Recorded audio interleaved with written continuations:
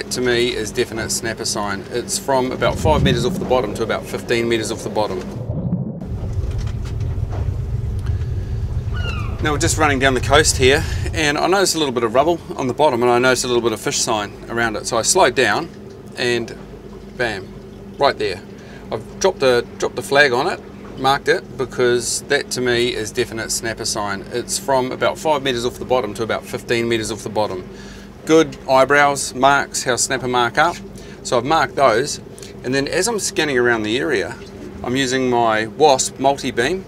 And that's picking up the, the shoals that are out to the side of me. And it looks like there's a decent chunk of bait fish with some snapper sitting up above it there.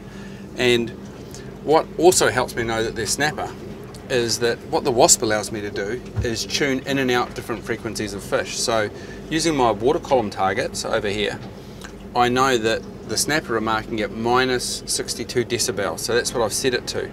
So I don't want it to show me all the bait fish and clutter on the screen.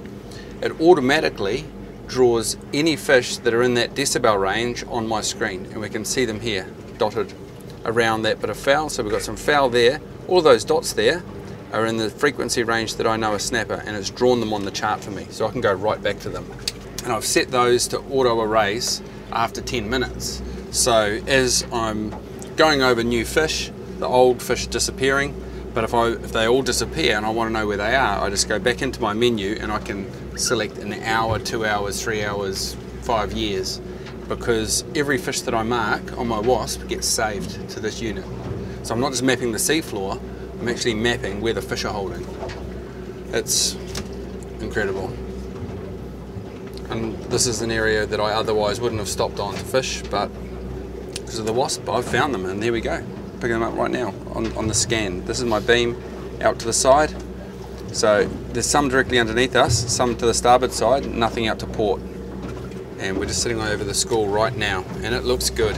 It looks good, boys. Stand by. Don't want to drop, Matt? Yeah, just drop all the way to the bottom again, bro. Okay. See here? Yeah. Just come and look. At, that's your bait there, Yep. right? So That- that's thinking that's your bait.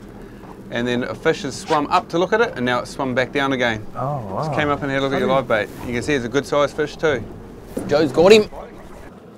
We have got just what we thought. Snapper. Never. Chia. And that's the size we like to eat too, boys. yeah. Beautiful. I'll give that a spike and you'll be eating them in no time. Oh. Chia. Stop it.